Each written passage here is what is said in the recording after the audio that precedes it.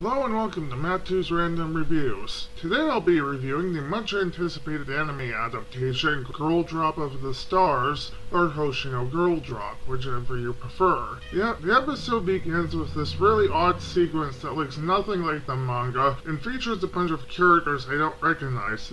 but after the intro, Sogosu appears and rips the episode's title card apart Seems it was a fake out this whole time. Okay, that's weird. Now, you didn't get the usual comedy skits like when Sogosu punches Daichi a few times, asking if he's mad, to which he responds, I am not, when Daichi pretends to be God, this video game reference skit that I don't really get as music that sounds like the Wario Athletic theme, and then after the real title card, we get a My Descriptor parody, followed by what I'm guessing is some sort of fantasy quest or temporal and Kindle parody, followed by a parody that I don't quite get the reference to either, but I think it's supposed to be Mega Dimension Bunker Goth Circle or Red Meteor QYR Sprazer, Neko Kizuna.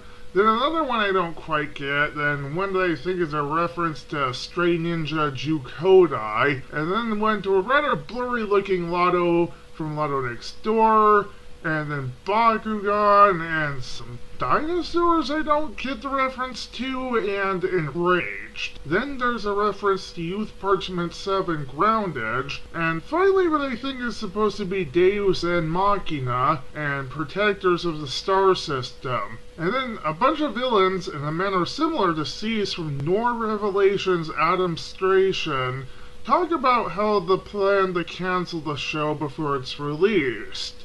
Mm, a little late there, isn't it? Also, one of them has a fidget spinner. Talk about true evil. Overall, I rate this episode uh, Katsudon out of Hellshake Yano. Until next time, April Fools, are you mad?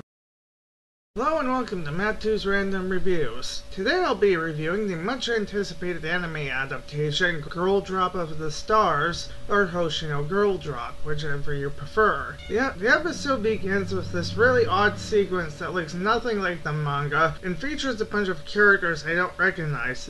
But after the intro, Sogosu appears and rips the episode's title card apart. Seems it was a fake out this whole time. Okay, that's weird. Now, you didn't get the usual comedy skits like when Sogosu punches Daichi a few times, asking if he's mad, to which he responds, I am not, when Daichi pretends to be God, this video game reference skit that I don't really get as music that sounds like the Wario Athletic theme, and then after the real title card, we get a My Descriptor parody, followed by what I'm guessing is some sort of fantasy quest or temporal and Kindle parody, followed by a parody that I don't quite get the reference reference to either, but I think it's supposed to be Mega Dimension Bunker Goth Circle or Red Meteor QYR Sprazer, Neko Mimi Kizuna.